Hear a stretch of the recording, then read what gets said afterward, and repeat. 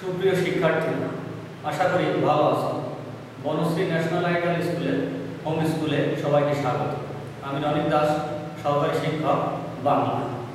আজ আমি পঞ্চম শ্রেণির পঞ্চম শ্রেণির একটি ক্লাস দিব।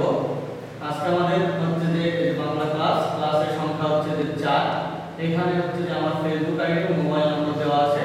ক্লাসের পরে যদি ক্লাস সংক্রান্ত কোনো সমস্যা তোমাদের থাকে, তো আমার সাথে যোগাযোগ করতে পারো তো আজকে আমাদের আহ, আলোচ্য বিষয় উম, আহ, যে আলোচ্য বিষয়, সেটি হচ্ছে আমরা যে ভাবুক ছেলেটি, যে গদ্যটি আমরা এর আগে পড়েছি, সেই ভাবুক ছেলেটি গদ্য গদ্যের অনুশীলনী তিন নঙে চ থেকে ইঙ্গ পর্যন্ত। আমাদের এই যে তিন নঙে, এখানে প্রশ্ন উত্তর, এখানে আমাদের এর আগের ক্লাসগুলোতে আগের প্রশ্নগুলো আলোচনা করা হয়েছে, আজকে আমাদের যে বাকি যে অংশগুলো ছিল, সেই অংশগুলো নিয়ে আমরা আলোচনা করব। তো আজকে আমাদের আলোচ্য বিষয় যে ভাবুক ছেলেটি গদ্যে অনুশীলনী, তিন নঙে আহ, থেকে ইঙ্গ পর্যন্ত তো আমরা এই প্রশ্নগুলো আগে একটু দেখে নিই যে আমাদের যে যে পাঁচটি প্রশ্ন নিয়ে আজকে আমরা আলোচনা করব সেই প্রশ্নগুলো আমরা একটু আগে পড়ে নিই।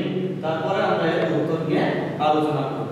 তো আমাদের চ নঙে যে প্রশ্নটি আছে সেটা হচ্ছে যে তার বক্তৃতার সফলতা সবচেয়ে বেশি ছিল কোন বিষয়? এখানে তার বলতে এই যে জগদীশ চন্দ্র বসুকে বোঝানো হয়েছে। তার বক্তৃতার সফলতা সবচেয়ে বেশি ছিল কোন বিষয়ে? এরপর আমাদের ছয় নম্বরের প্রশ্ন আছে যে বিজ্ঞান, শিক্ষা ও চর্চার ক্ষেত্রে তার সফলতাকে কোন নাম করা বৈজ্ঞানিকদের সঙ্গে তুলনা করা হয়েছে? এরপরে নম্বরের প্রশ্ন ছিল যে পলাতক তুফান নামে লেখাটি লেখাটির আগে কি নাম ছিল? তার কোন বইয়ে এটি ছাপা হয়। এরপরে ঝ নম্বরে আছে যে অধ্যাপনা থেকে অবসর গ্রহণের পর তিনি কি প্রতিষ্ঠা করেন? এটা এবং সেই যে প্রশ্নটা আছে, সেটা হচ্ছে তার প্রতিটি আবিষ্কার বিজ্ঞান জগতে এক একটি বিজয় স্তম্ভ। এমন কথা কোন বিখ্যাত ব্যক্তি বলেছিলেন? কেন বলেছিলেন? তো আমরা প্রশ্নগুলো পড়লাম। এখন এই প্রশ্নগুলোর উত্তরগুলো আমরা জানব। তো আমাদের প্রথম যে প্রশ্নটা ছিল যে তার বক্তৃতা তার বক্তৃতার সফলতা সবচেয়ে বেশি ছিল কোন বিষয়ে? এখানে আমি আগে বলেছি, এখানে তার বলতে কিন্তু এখানে বোঝানো হয়েছে যে স্যার জগদীশ চন্দ্র বসুকে যে তার বক্তৃতার সফলতা সবচেয়ে বেশি ছিল কোন বিষয়ে? তো আমাদের এটা যে উত্তর, সেটা হচ্ছে যে স্যার জগদীশ চন্দ্র বসুর বক্তৃতার সফলতা সবচেয়ে বেশি ছিল বিদ্যুৎ তরঙ্গ বিষয়ে। তাহলে হচ্ছে যে স্যার জগদীশ চন্দ্র বসুর সফলতা বক্তৃতার সফলতা সবচেয়ে বেশি ছিল বিদ্যুৎ তরঙ্গ বিষয়ে। এরপরে আমাদের যে ছ নম্বর যে প্রশ্নটি, সেটি হচ্ছে যে বিজ্ঞান চর্চা, ও চর্চা, বিজ্ঞান শিক্ষা ও চর্চার ক্ষেত্রে তার সফলতাকে কোন নাম করা বৈজ্ঞানিকদের সঙ্গে তুলনা করা হয়েছে বিজ্ঞান শিক্ষা ও বিজ্ঞান শিক্ষা ও চর্চার ক্ষেত্রে স্যার জগদীশচন্দ্র বসু সফলতাকে বিজ্ঞানী গ্যালিলিও নিউটনের সঙ্গে তুলনা করা হয়েছে। তাহলে বিজ্ঞান শিক্ষা ও চর্চার ক্ষেত্রে তার সফলতাকে বিজ্ঞানী গ্যালিলিও ও নিউটনের সঙ্গে তুলনা করা হয়েছে। এরপরের প্রশ্ন ছিল আমাদের যে পালাতক তুফান নামে লেখাটি আগে কি নাম ছিল? তার কোন বইয়ে আহ, কোন বইয়ে এটি ছাপা হয়।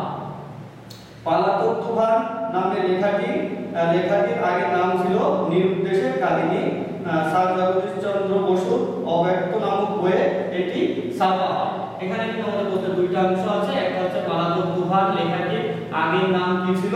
এটা আমরা জানলাম যে পালাতক তুফান নামে লেখাটির আগের নাম ছিল নিরুদ্দেশের কাহিনী এবং পরের যে অংশ, যে তার কোন বইয়ে এটি ছাপা হয়?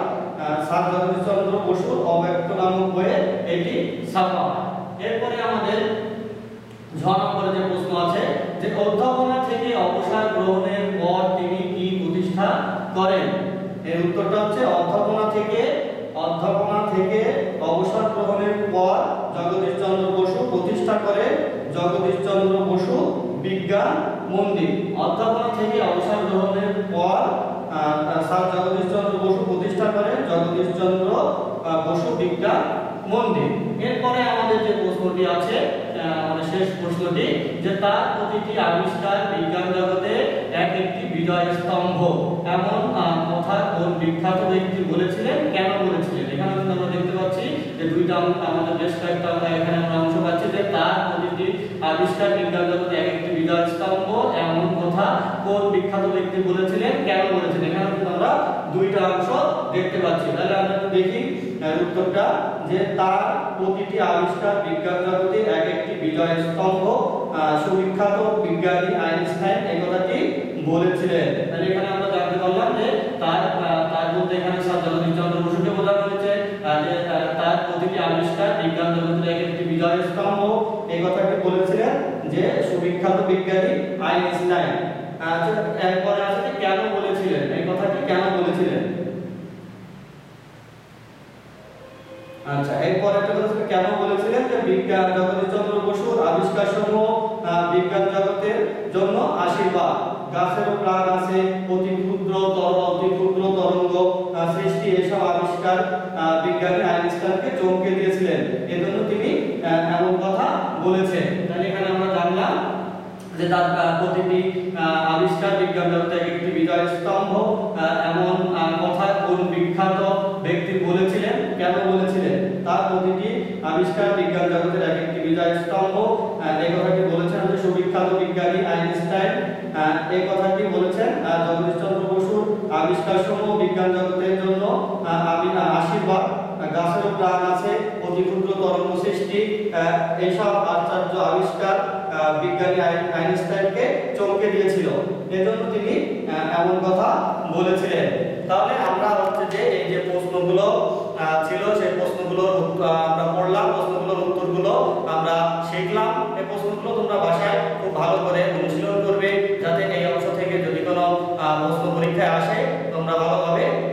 দিতে পারো। তাহলে এই প্রশ্নগুলো বাসায় বারবার করে পড়ে এগুলো শিখে রাখবে। আর আজকের ক্লাস এ পর্যন্তই আগামীতে আবার দেখা হবে। বাসায় তোমরা নিয়মিত পড়াশোনা করবে